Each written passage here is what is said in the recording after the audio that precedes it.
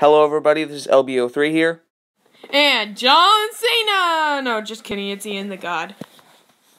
And Disney announced something that made me, well, I think I'm just going to show this clip from Nostalgia Critic that summed up what I did.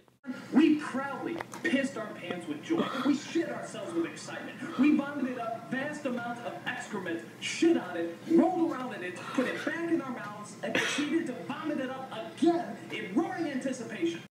But you pretty much get the point. We both were excited, and when this got announced, we basically blew our tops. And would you mind if I told both of our audiences what this thing was?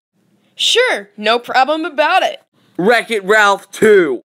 Okay, for those who don't know, we loved, loved, loved the first Wreck It Ralph, and we're really excited for this new sequel.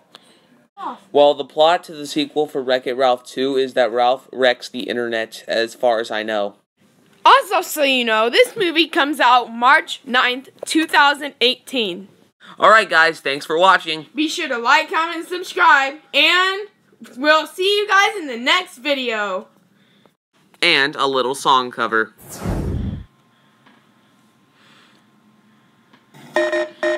Yeah.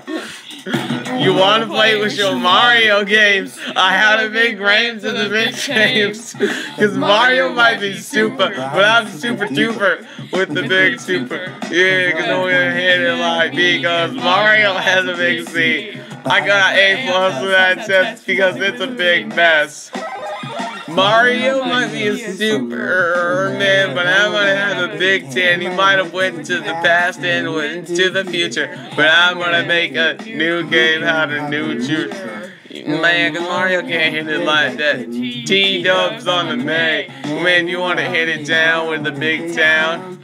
Man, you can't hit the big hot. Mm. No, yeah, it's a steamboat.